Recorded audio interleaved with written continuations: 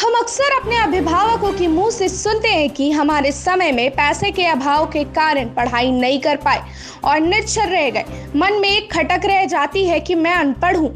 घर समाज में जो सम्मान मिलना चाहिए, वो नहीं मिल पाता है और ये खटक जीवन भर रह जाता है। सिमडेगा ठाकुर टोली निवासी शिक्षक राज आनंद सिन्हा ने सिमडेगा में एक नए बदलाव की शुरुआत की है। गाँव देहात की वो महिलाएँ जो वर्षों पहले पैसे के अभाव में पढ़ाई नहीं कर पाई उनको पढ़ाने की बागडोर शिक्षक ने ली है।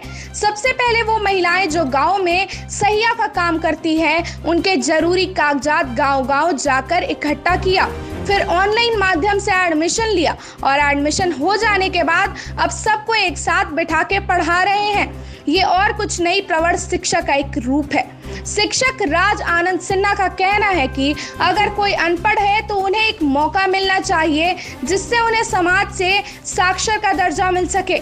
बस इसी पहल में वो काम कर रहे हैं। उन्होंने बताया कि अक्टूबर नवंबर में परीक्षा होंगी, जिसमें लगभग 40 से 50 सहिया महिलाएँ परीक्षा देंगी, जिनकी उम्र 45 वर्ष से ज़्यादा है। उन सबों की परीक्षा की तैयारी करवाने का जिम्मा शिक्षक ने लिया है।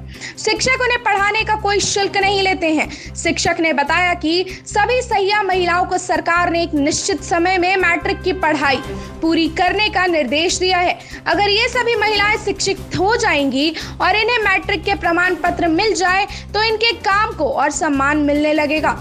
वो सभी लोग जो अनपढ़ हैं और जिन्हें पढ़ने की इच्छा है, उन सभी को शिक्षक राज आमंत्रित करते हैं कि वो आए और अपनी छूटी हुई पढ़ाई पूरी करें और घर समाज के लिए एक मिसाल बने। मेरा नाम है गुलनाज खातून। मैं एक सहिया का कार्य करती हूँ और सहिया का सुपरवाइज़र सहिया साथी भी हूँ। और मेरा गाँव है बानो। और मुझे पता चला, एक बच्चा यहाँ पढ़ता है, सर के यहाँ कोचिंग में, सुखदेव सिंह।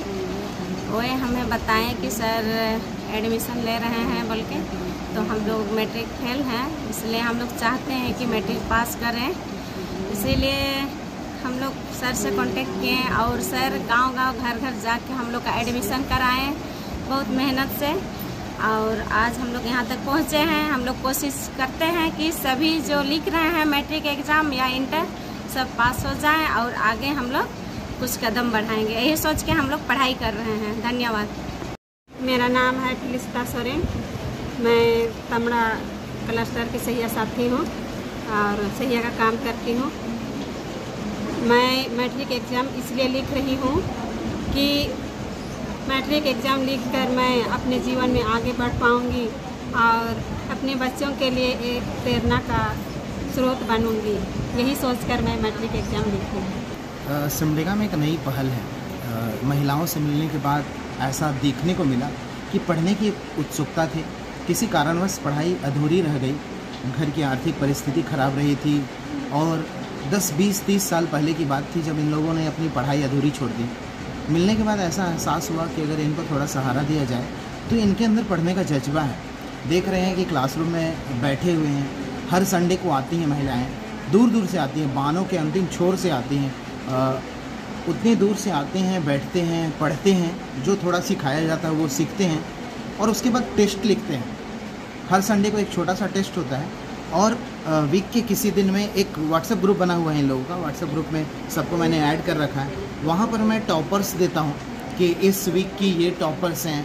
तो एक इनके अंदर एक पढ़ने का जज्बा बढ़ने लगता है और धीरे धीरे अब देखने को ऐसा मिल रहा है। मैं इतना विश्वास, मुझे अपने अंदर इतना विश्वास हो गया कि रिज़ल्ट तो आएगा और अच्छा रिज़ल्ट आएगा मैं इनको यही समझाता हूँ कि अगर मान लीजिए आप एक अच्छा रिज़ल्ट शो करते हैं तो आपके घर में जो आपके बच्चे हैं, उनके लिए एक प्रेरणा होगी। उनके लिए एक बहुत बड़ी बात होगी कि पढ़ाई छूटने के बाद अगर हमारी माँ ने इतना अच्छा रिज़ल्ट किया तो हम क्यों नहीं?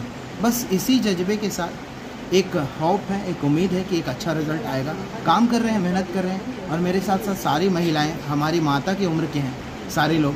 अच्छा लगता है कि इनको कुछ सिखा रहे हैं और ये सीख रहे हैं। और आ, मुझे ऐसा फील नहीं होता और ये लोग फील होने भी नहीं देते हैं कि हाँ मैं इनका बेटा जैसा हूँ। बहुत सम्मान मिलता है बहुत सम्मान करते हैं अच्छा लगता है। और इनके सम्मान का मैं कदर करूँगा और अपनी पूरी कोशिश करूँगा कि इनका एक अच्छा रिज़ल्ट मिल जाए।